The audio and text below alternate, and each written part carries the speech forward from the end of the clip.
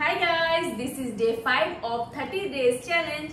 Hashtag outfit from used product. So again आज मैं आ गई हूँ आप लोग के साथ एक बहुत ही मज़ेदार सा DIY शेयर करने। सो so, आज बहुत ही यूनिक होने वाला है DIY क्योंकि आज मैं एक बनाने जा रही हूँ वन पीस ड्रेस तो बहुत ही ज़्यादा खूबसूरत बन के आया है। हमने लोगों देख ही लिया है। सो so, ये है मम्मी का नाइटी जिसको मैंने वियरी करके रखा है। तो देख सकते हैं आप लोग कुछ इस तरह का है ये नाइटी। काफ़ी लूज है। सो so, अभी तो ये वैसा बहुत ज़्यादा खूबसूरत तो लग नहीं रहा है बट मैं इसे बनाने वाली हूँ। बहुत ही खूबसूरत सा ड्रेस जो कि बहुत ही कम समय में बन जाता है एंड बहुत ही सिंपल है और इसके लिए ज़्यादा कुछ चाहिए भी नहीं। बस इलास्टिक का यूज़ करना है एंड थोड़ा सा स्टिचिंग करना है। तो चलिए स्टार्ट करते हैं वीडियो एंड अभी तक आप लोग मेरा day one day two day three and day four में क्या क्या बनाया है वो सब नहीं देखे हैं तो लिंक आपको डिस्क्रिप्शन बॉक्स में मिल जाएगा। एंड आप जाके प्लेलिस्ट में भी चेकआउट कर सकते हैं. सो वीडियो स्टार्ट करते हैं. सो so गाइज़ आज का वीडियो ब्राउन बनाने वाली है. वही सारा आपको प्रोसेस सिखाने वाली है. कैसे स्टिचिंग करना है कैसे कटिंग करना है. अरे हटो. हटो इधर आ इधर आ. हट जाओ.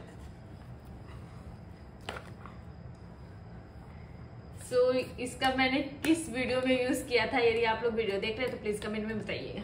चलो हटो हटो. हटो हटो हटो हटो हटो हटो.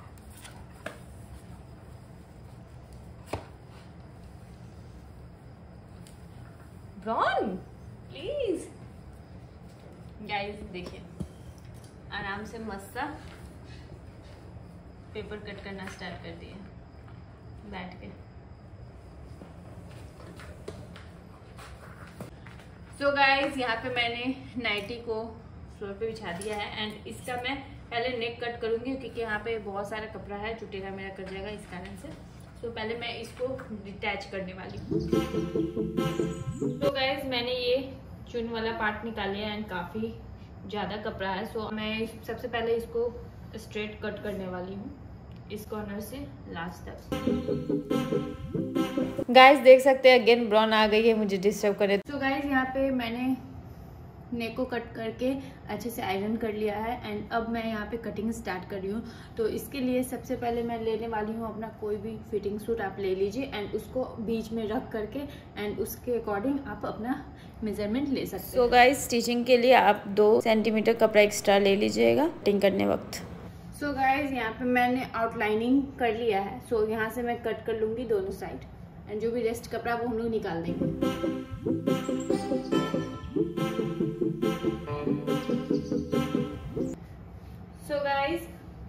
पे मैं इसको यहाँ पे स्लाइटली थोड़ा सा करीब आई थिंक दो इंच हाँ दो इंच के करीब मैं इसको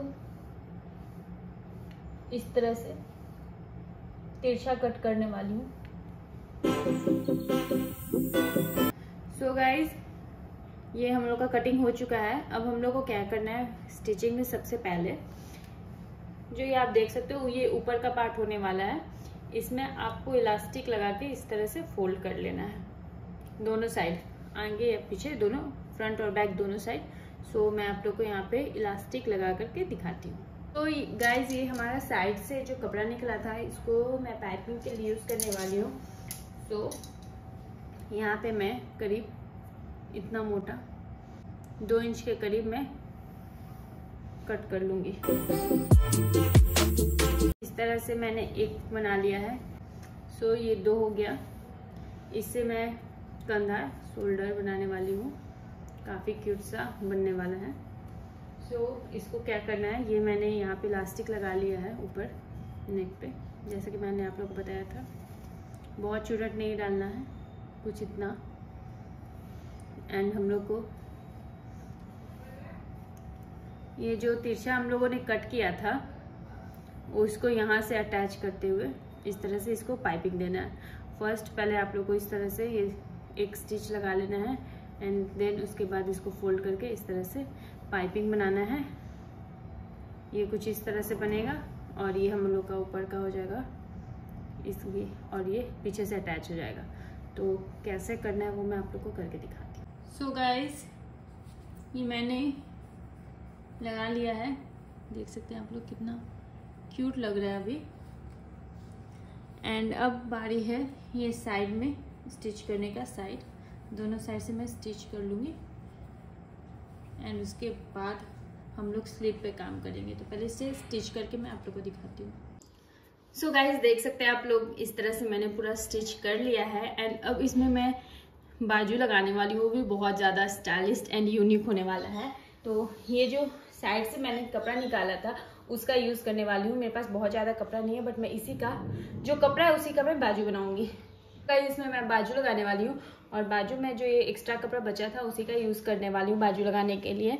एंड इसमें भी मैं इलास्टिक लगाऊँगी बोथ साइड दोनों साइड एंड ये अटैच होगा यहाँ पे कुछ इस तरह से ये रहेगा। जो हम लोग का बाह पे आता है, उस तरह का बहुत ही क्यूट सा बन के रेडी होगा। तो चलिए, बाजू का भी प्रोसेस स्टार्ट करते हैं। सो गाइज़ बाजू का कटिंग करने के लिए मैंने ये कपड़ा ले लिया है एंड इसे कुछ इस तरह से मैं फोल्ड कर रही हूँ। एक्स्ट्रा मेरा बाजू रहेगा मतलब ज़्यादा ही कटिंग होगा।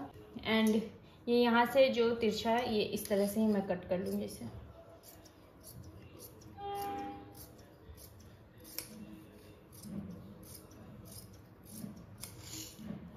एंड यहाँ से इसको स्लिट कर लूँगी। सॉरी कट कर लूँगी। एंड ये इस तरह से कुछ हमारा बाजू बन गया है दो। देख सकते हैं आप लोग।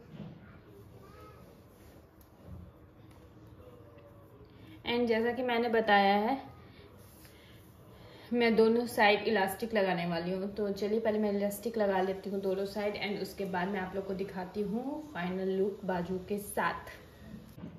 So guys this is the final look कैसा लग रहा है आप लोग? प्लीज़ बताइए. एंड मैं इसे वेयर करके आप लोग को दिखाती हूँ. काफ़ी क्यूट सा मुझे लग रहा है एंड काफ़ी क्यूट बन के भी आया है. सो so, जल्दी से इसे वेयर करके मैं दिखाती हूँ आप लोग को.